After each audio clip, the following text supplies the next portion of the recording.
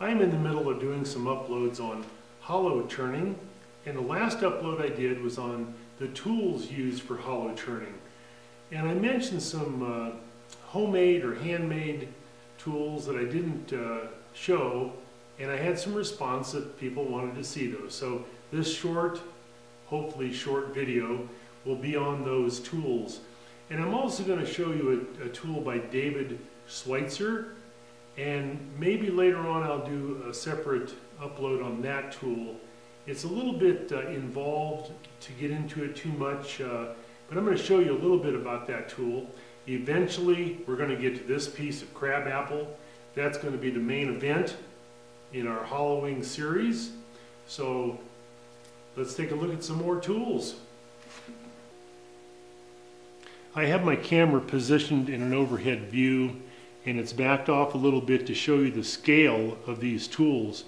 Most of these tools are handmade to some extent and I'll show you those in a little bit more detail.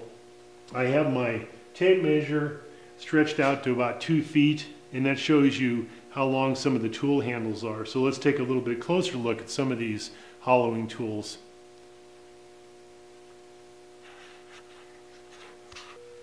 Now tools made from Allen wrenches can be the easiest and cheapest tools you can make on your own. If you have a grinder or maybe a sanding center, you can grind down the end of the tool to make it a hollowing tool. This is a, a real small little uh, Allen wrench that's uh, very suitable for very tiny uh, items that you might be hollowing. Um, you can make any size you want depending on the Allen wrench and I use these a lot on Christmas globes and making them hollow so um, that's very easily done.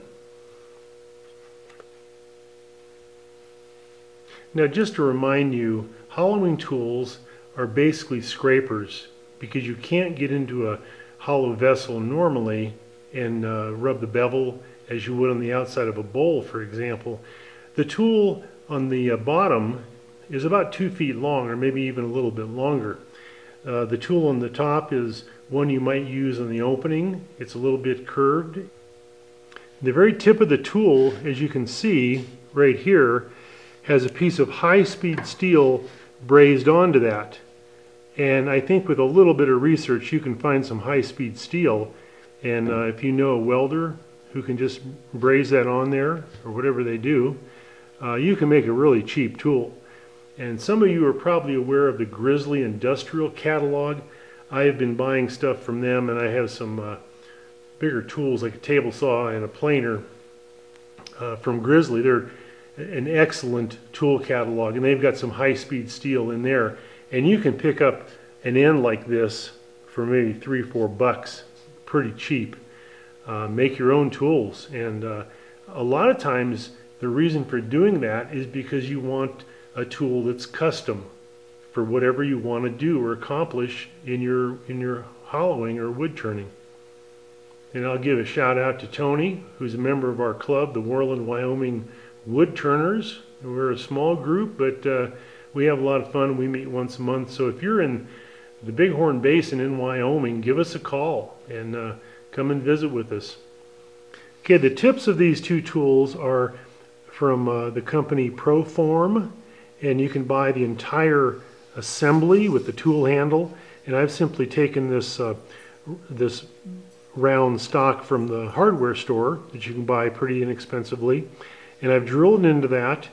And the, the cutting tip of this uh, Pro-Forme is this part here and this part. You can buy that and eh, it's probably 30 40 dollars but it makes a pretty good scraping tool. Now let me turn those over. And they're used in that orientation. They're a scraping tool and if I can get a close up here. Now part of this assembly there's a little nut here that tightens down and locks in that scraping uh, part of that tool and you can adjust that to uh, different profiles depending on where you're whoops where you're uh, scraping on the inside of your vessel. And those are a couple tools that you can buy the just buy the tips, and I'll back that off just a little bit. Uh, I have one in a wooden handle and one in a modular handle.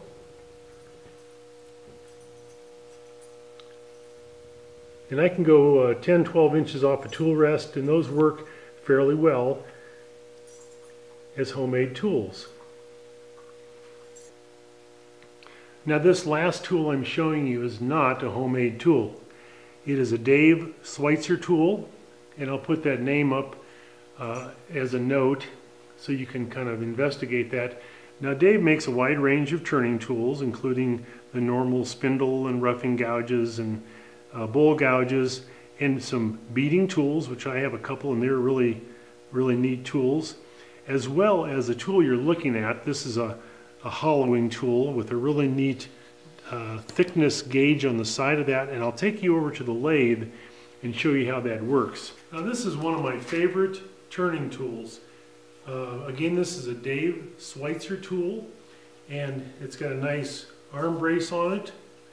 Here's the cutting end of it and it's got a set screw in there that you can adjust the cutter head to different uh, angles and profiles and it's got a depth gauge on it which you can adjust right here and it really speeds up the hollowing process when you're doing a hollow form and it's held in this orientation.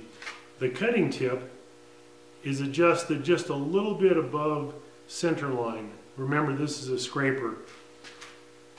Now one more thing about this tool is I have my lathe running in reverse when I'm using this tool. Dave makes these both, uh, which enables you to turn in forward and reverse. The idea for turning in reverse with this tool, I have a cutaway of a bowl in my lathe so you can kind of see where this cutter is going. I can look directly down on this and have a very good view of where I'm cutting and where my depth, depth gauge is as I go around the uh, profile of that bowl. Now with this overhead view, you can see where the tool is riding on the tool rest. And here's the depth gauge. So if I have set my depth gauge to the correct depth, I can look at that gap in there and estimate my depth. Now up here towards the rim, I'm too thick. And this bowl simply didn't make it through quality control, so I use it for demonstrations. Now I'm going to unlock my spindle and show you the profile of the bowl.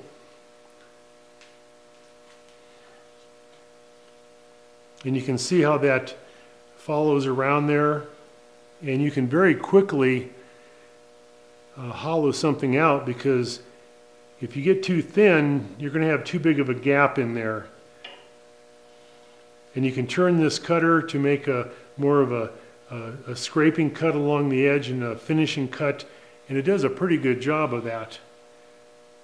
Now let me, let me show you one more thing. If I've got my tool in this orientation, it's too much of an angle. And the depth gauge is not really giving me an accurate representation of the depth of my piece of wood. So this tool must be held in a perpendicular orientation as you go around the profile of that bowl. Well, it's the day after Christmas, 2012. Uh, I hope you have a very, very good year coming up and a safe year.